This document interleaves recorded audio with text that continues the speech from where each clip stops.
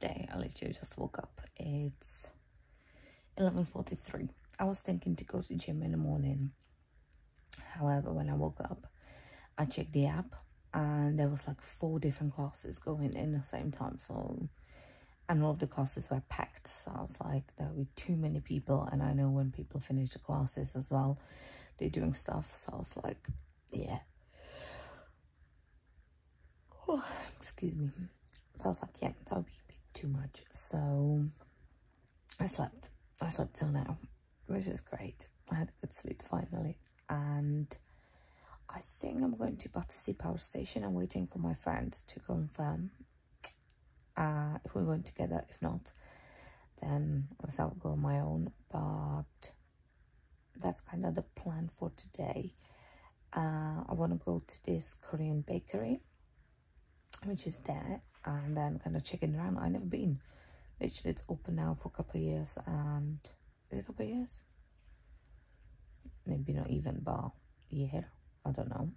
But I've never been there, so I want to go check it out, and then later on when I'm back home, I will go to gym because I haven't been yesterday because yesterday was office day and on Thursday I didn't go because I was on my period and I just was so so after being in the gym for like three days and then walk like crazy on Tuesday. So that's the program so far.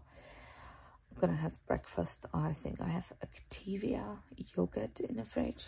So it's gonna be like a little snacky snack to start the day. And then make myself tea. And then yeah. Then we will see what we're doing. Uh,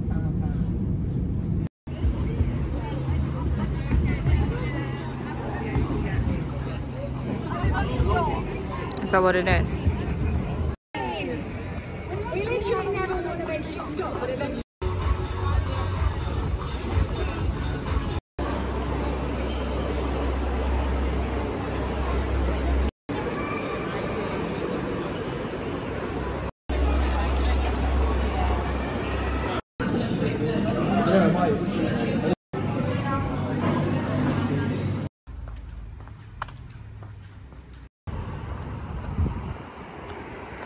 The latest mental spa. I just finished gym.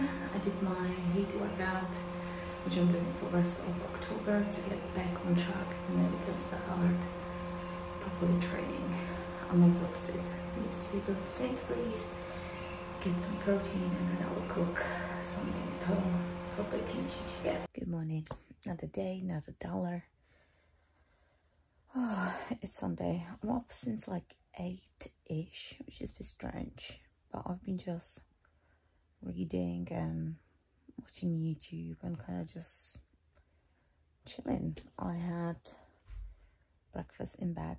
This Activia got healthy yogurt, which actually quite nice. So I had that. Um, I should do food shop, but I can't be bothered to be fair to do it. So I think I'm gonna continue watching YouTube for a little bit, just chill um then around two i will go to gym as per usual per usual like i'm i'm a week back in gym and it's already a habit. Do you know what i mean? So yeah i'm gonna go to gym. And then i need to sort my room as well because it's messy. And that's probably gonna be kind of it for today. So at least we kind of back on track. Um going to gym i'm not feeling depressed which is quite nice. I actually finished reading a book which is called i wanna die by also It tteokbokki, i believe. So it's a south korean author and it's essentially kind of a book about her feeling depressed etc and it's like a conversation between her and her therapist.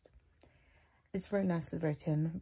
The translation is really good. I enjoyed it. I think i read it literally in like two days three days was really good. And it was kind of nice to see that like other people from other countries that have exactly the same feelings and emotions and struggles and the way she was like describing how she feeling and why she feels like depressed and kind of wants to die etc was very similar and i could literally i could relate. So I think I kind of opened my eyes and be like, okay, I'm not the only one who's struggling yeah, did I. But also I have to say the move to a new place like helped a lot as well with my mental health, so that's nice. Um, work is work, work is still kind of stressful. Um, but it's what it is, do you know what I mean? And then I have decided, so at the moment, I'm trying to figure out, but next year I'm going to do a big trip. We're definitely going to Japan, and I think I will go back to South Korea as well. Maybe Vietnam, we will see. I need to figure out. I currently have a goal to essentially saving as much as possible, so we're kind of trying to live below my means. So, yeah, and with that, obviously, it would be like, okay, what can I do in London for free?